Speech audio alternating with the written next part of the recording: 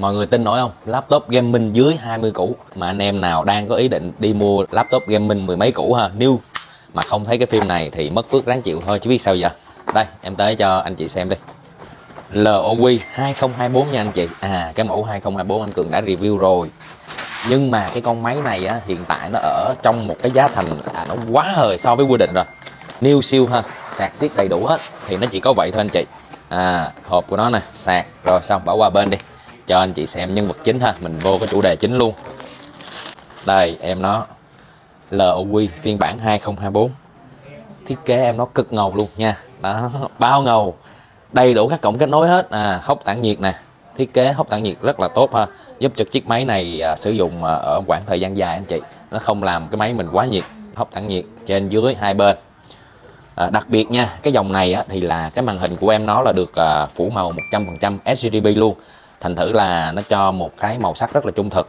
À, anh chị có thể là làm đồ họa này làm photoshop hoặc là về chơi game nào kia thì cái màu sắc nó rất là trung thực. Cái thứ hai nữa à, con máy này nó đang chạy cái cấu hình là coi 512450 hx card màn hình của nó là 30506 g nha. À cái card này thì nó khỏe gấp gần gấp rưỡi. Cái con mà 3050 Ti 4 g đó thì cái, game cái card này anh chị có thể là chiến game thoải mái trên cường rồi. Cân tất cả các loại game luôn. Màn hình em nó có tần số quét 144 Hz ha 144 Hz với 18 củ 7 thôi được bảo hành 12 tháng new siêu tự tay anh em đập hộp. Thì em nghĩ là trong tầm giá này không có con game minh nào so được với em nó.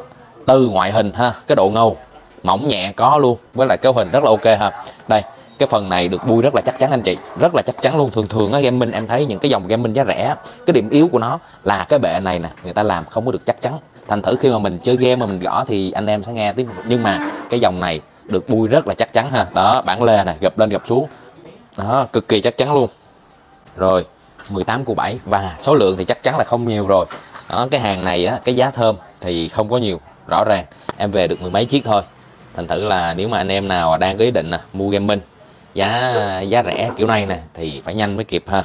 Mẫu 2024 à, chứ không phải là mẫu cũ nha anh chị mới nhất rồi.